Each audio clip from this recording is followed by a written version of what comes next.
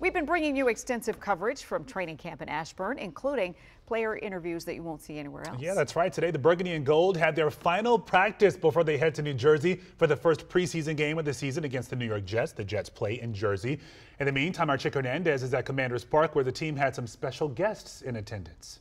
It's not often a franchise can bring back a Hall of Famer to watch practice. It's even more rare when they can bring back two on the same day. Joe Gibbs and Darrell Green addressed the team after practice. Green, whose 28 jerseys will be retired on October 20th, has been away from the franchise for as long as he played for it 20 years. He talked to them and he got something back. I'm even more excited because I'm not disappointed. When I looked in their eyes and the way we interacted, like, wow, I'm, I'm I was right. I feel right. I feel like feel like something is just right. You know, Darrell, it's really cool to see what he does. Uh, honestly, especially at his age and seeing the videos and different stuff like that. And then um, coming out here, and I know he's been away from the team for a while, uh, but being able to come back and, and talk to us, because like like I said, you know, he's had a lot of success along with Coach Gibbs. I asked uh, Coach and Darrell if they'd come over and just say hello to the team.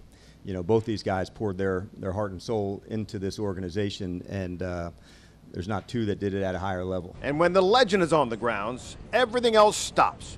Joe Gibbs, who brought three Super Bowl titles to the Burgundy and Gold, can see the light. Josh and his leadership from an ownership standpoint, he grew up here, loves the place. Um, I think with the coaching staff and everything that we have now, getting everything started again. Um, so I, am excited about where we are. Um, I know that the fans are.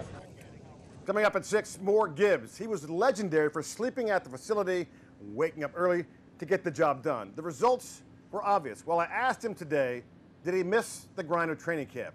His answer had me hands on knees, gut busting. Wait for it. With the Commanders, Chick Hernandez, WUSA 9 Sports.